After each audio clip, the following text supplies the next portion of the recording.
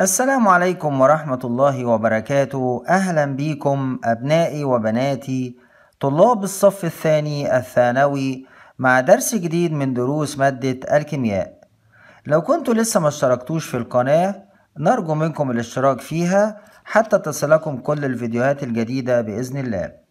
ولو عجبك الفيديو اعمل like و share على مواقع التواصل الاجتماعي علشان يستفيد منه أكبر قدر من زمايلك ومن أصدقائك. النهاردة إن شاء الله هناخد درس مهم جدا. هنتكلم عن حاجة اسمها الطيف الذري أو ممكن نقول الطيف الخطي. عشان نفهم الموضوع ده يا جماعة نبدأ الأول مع بعض كده عشان نفهم الموضوع نفهم إيه هو الطيف. إحنا عندنا كلمة الطيف في الكيمياء معناها كده إن هو عبارة عن إشعاع أو ممكن تقول كده عبارة عن شعاع. يعني حاجة منورة. كلمة الطيف يعني حاجة فيها نور حاجة فيها ضوء حاجة فيها إشعاع حاجة فيها شعاع. ده بالنسبة لكلمة الطيف. آه إزاي نحصل على طيف الانبعاث الذري أو الطيف الخطي؟ إزاي نحصل عليه؟ ببساطة لو إحنا جبنا ذرات عنصر هذا العنصر لابد إن هو يكون نقي. ليه العنصر يكون نقي؟ علشان لما يطلع منه ضوء أو يطلع منه شعاع أو يطلع منه إشعاع أو يطلع منه طيف يبقى الطيف ده بتاعه هو بس.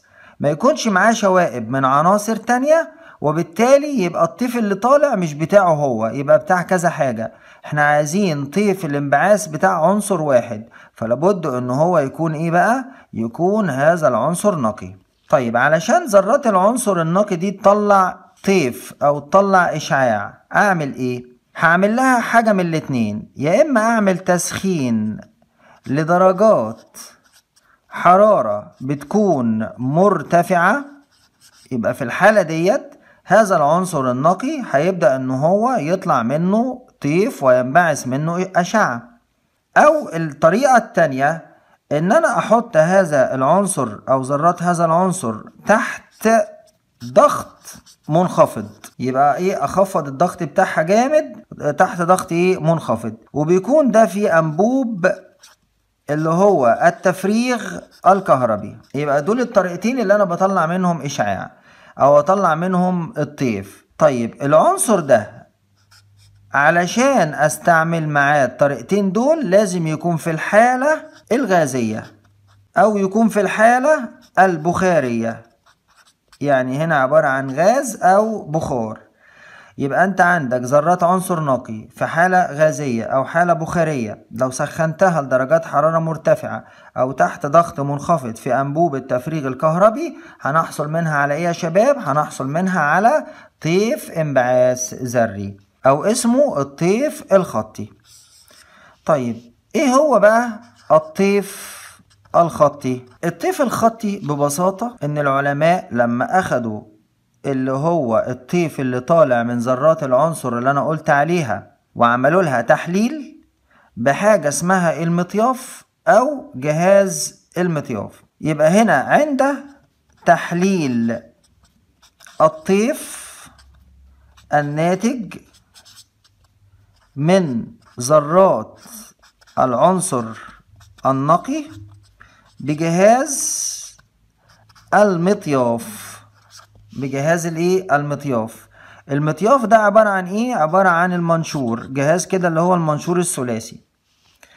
لقى العلماء عند تحليل الطيف ده من ذرات العنصر النقي ده اللي طالع من الذرات العنصر النقي بالمطياف إن هذا الطيف الخطي بيتكون بقى بصوا من عدد صغير محدد من خطوط ملونة. يبقى عندي كده كذا خط ملون كده عددهم بسيط. وبعدين بين الخطوط الملونة بقى كده مساحات بتكون إيه بقى؟ معتمة. يبقى بينها الخطوط الملونة دي مساحات بتكون معتمة.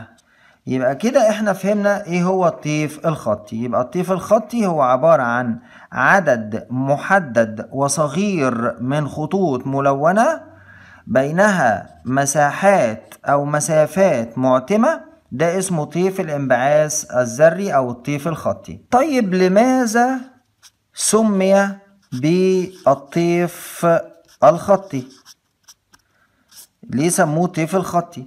طبعا يا جماعة إحنا لسه قايلين الإجابة. قلنا كده لأنه يتكون من من عدد محدد وصغير من الخطوط الملونة. يبقى عشان كده سميناه بالطيف الخطي. طيب آه عايزين نتعرف مع بعض كده مثال أو تطبيق اللي هو إيه بقى؟ هنتكلم عن الطيف الخطي لذرات الهيدروجين. طيب إزاي نحصل على الطيف الخطي لذرات الهيدروجين؟ إحنا بنجيب جهاز المطياف قلنا اللي هو المنشور الثلاثي بيبقى كده بالمنظر ده.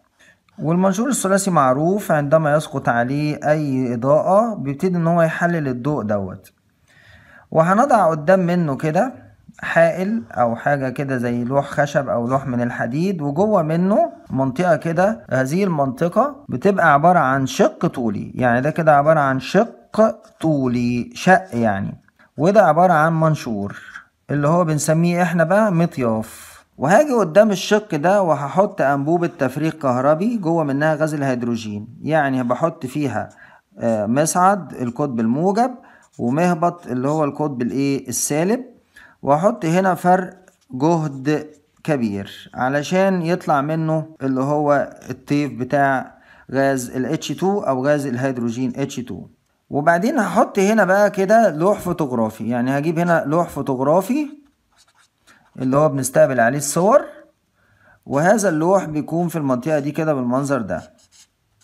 أما بيطلع الضوء من غاز الهيدروجين بيبتدي إن هو يسقط على المنشور الثلاثي ويبتدي إن هو يطلع من المنشور الثلاثي عامل لي أربع خطوط بالمنظر ده. واحد اتنين تلاتة أربعة. خطوط ملونة كده وفي بينها مساحات ومسافات بتكون معتمة. لو بصينا على الشكل بتاعها الخطوط دي هلاقي إن هي أربع خطوط بالمنظر ده والخطوط دي ليها أطوال موجية بالنانو متر. أول حاجة عندنا الطول الموجي بتاعنا 410 نانو متر ده اللي هو الخط الأول. الخط التاني 434 نانو متر الخط التالت 486 نانو متر والخط الرابع 656 نانو متر يبقى ده كده الطيف الخطي لذرة الايه؟ الهيدروجين. طيب عندنا سؤال مهم جدا. أن الطيف الخطي مميز وأساسي للمادة. يعني أي مادة في الدنيا الطيف الخطي بتاعها بيكون بيميزها وأساسي ليها. السبب أنه لا يوجد عنصران لهما نفس الطيف الخطي يعني مستحيل تلاقي عنصرين ليهم نفس الطيف الخطي وبالتالي الطيف الخطي هو خاصية مميزة وأساسية لكل مادة بتفرقها عن المادة الأخرى. إحنا كده عرفنا مع بعض إيه هو طيف الانبعاث وإيه هو الطيف الخطي وده اللي إحنا هنتكلم فيه في نموذج ذرة بور إن شاء الله في الدرس القادم بإذن الله. أتمنى من الله سبحانه وتعالى إن أنتوا تكونوا فهمتوا درسنا النهارده. الدرس بسيط وجزء بسيط. وانتظرونا في الحلقات القادمة لمادة الكيمياء إن شاء الله. كان معكم معلم خبير محمد علي. أشكركم والسلام عليكم ورحمة الله وبركاته.